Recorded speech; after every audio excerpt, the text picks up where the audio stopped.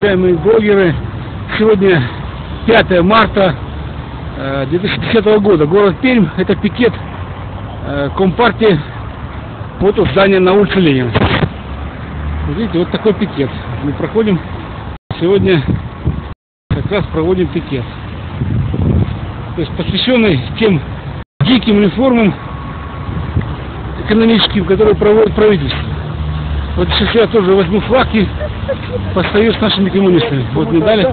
Здравствуйте. Вот я сюда беру флаги, чтобы с плакатами не все три. Вот, ну это у нас так положено. Вот, ну действительно реформы дикие. Мы проводили 16 февраля митинг. Сейчас пикеты проводим. Вот, рост коммунальных тарифов, рост всего. По сути, уничтожают, уничтожают всю экономику. Из 8 тысяч рублей, которые сегодня получают 120 миллионов из 140, из этих 8 тысяч 2 тысячи они дают за квартиру и живут на 6 тысяч. То есть практически остановили всю экономику. Они ничего не могут купить. Ни платьишко, ни костюмчик, ни трусики, никуда поехать не могут. В итоге стоит вся экономика. И он нам говорит, потому что я буду поддерживать малый бизнес и так далее. Он больной человек, это мальчишка, так сказать, и так далее. Ни выборов нет, ничего, ни экономической реформы, ничего нет. Поэтому, конечно, это страшно.